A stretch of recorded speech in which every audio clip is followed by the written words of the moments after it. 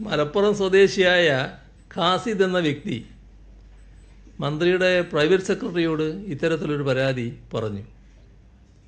അത് ഈ നിയമനത്തിന് മന്ത്രിയുടെ പേഴ്സണൽ സ്റ്റാഫ് പണം വാങ്ങിച്ചു എന്നൊരു പരാതിയാണ് പറഞ്ഞത്. പത്തനംതിട്ടയിലുള്ള അഖിൽ സജീവ് എന്നൊരാൾ പണം വാങ്ങി എന്നതാണ് ആ വ്യക്തി അന്ന് പറഞ്ഞത്. ഓഫീസിൽ മന്ത്രി എത്തിയപ്പോൾ പ്രൈവറ്റ് സെക്രട്ടറി ഈ വിഷയം പറഞ്ഞു.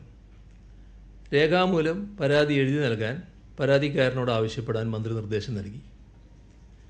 ഇതിന്റെ അടിസ്ഥാനത്തിൽ അന്ന് വന്ന് പരാതി പറഞ്ഞ ആളോട് രേഖാമൂലം പരാതി നൽകാൻ പ്രൈവറ്റ് സെക്രട്ടറി ആവശ്യപ്പെട്ടു.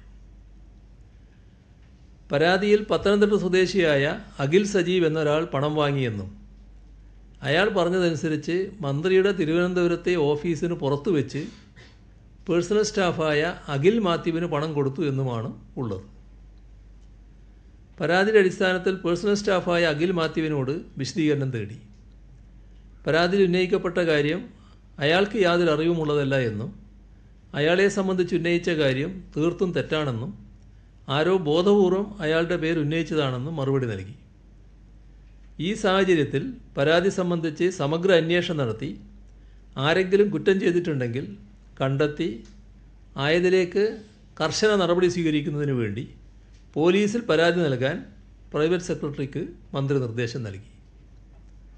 പ്രൈവറ്റ് സെക്രട്ടറി അതിന്റെ അടിസ്ഥാനത്തിൽ ഡി ജി പിക്ക് പരാതി നൽകി. താൻ ചെയ്യാത്ത കുറ്റം തനിക്കെതിരെ ഉന്നയിച്ച് തെറ്റായ ആരോപണം ഉന്നയിച്ചത് സംബന്ധിച്ചും അതിന് പിന്നിൽ പ്രവർത്തിച്ചവരെ സംബന്ധിച്ചും വിശദമായ അന്വേഷണം നടത്തണമെന്നാവശ്യപ്പെട്ട് അഖിൽ മാത്യുവും പോലീസിൽ പരാതി നൽകിയിട്ടുണ്ട്.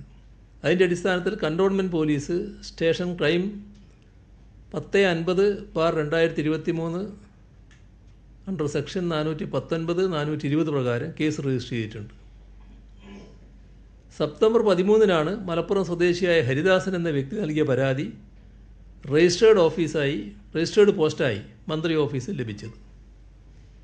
തുറ നടപടിക്കായി ഇരുപതാം തീയതി മുഖ്യമന്ത്രിയുടെ ഓഫീസിന് ശ്രദ്ധയിൽപ്പെടുത്തി തുടർന്ന് ഡി ജി പിക്ക് ആരോഗ്യമന്ത്രിയുടെ പ്രൈവറ്റ് സെക്രട്ടറി പരാതി നൽകി.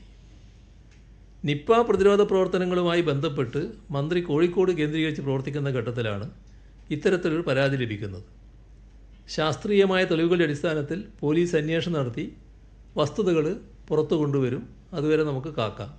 ഇതാണ് അത് സംബന്ധിച്ച് പറയാനുള്ളത്. മറ്റു കാര്യങ്ങൾ പിന്നീടാകാം.